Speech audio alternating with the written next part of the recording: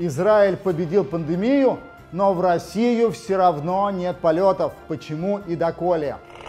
Российская Федерация попала в список стран, посещение которых запрещено для граждан Израиля в связи с тяжелой ситуацией по ковиду. Если еще неделю назад Минздрав Израиля просто не рекомендовал гражданам страны посещать Россию, с 31 мая летать туда израильтянам запрещено. Шлома Мурьосов, генеральный директор управления регистрации населения, в которое входит пограничная служба, особо отметил, что наличие двойного гражданства не освобождает от запрета запрета на посещение стран из списка. Это касается и израильтян, имеющих российское гражданство, и россиян, являющихся также гражданами еврейского государства.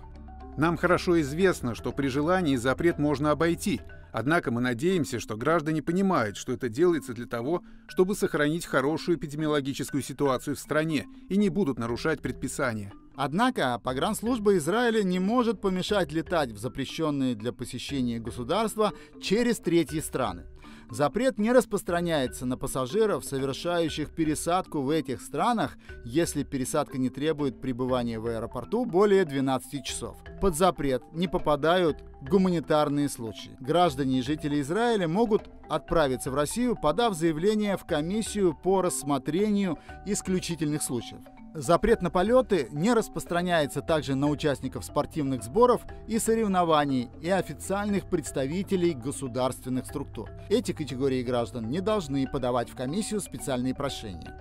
Однако пока запрет действует, все граждане и жители Израиля, которые возвращаются из России, будут обязаны соблюдать режим изоляции, в том числе привитые от коронавируса и перенесшие коронавирус. Срок обязательного карантина зависит от наличия отрицательного результата тестов на коронавирус.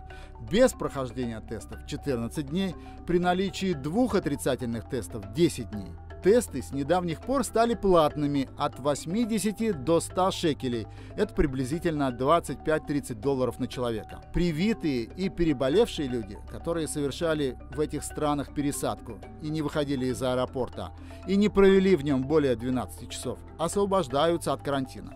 Разумеется, Российская Федерация не одинока в запретном списке Минздрава Израиля.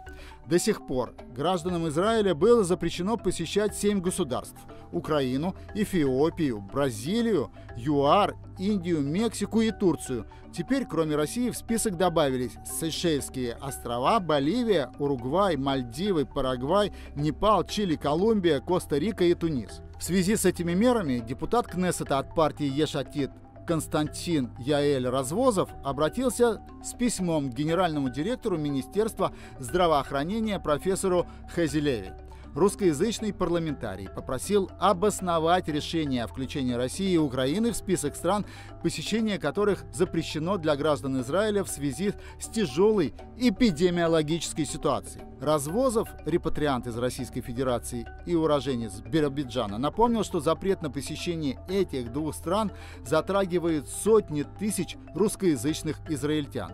Депутат запросил данные Минздрава о числе зараженных коронавирусом, прибывших из России и Украины до вступления в силу данного запрета на полеты.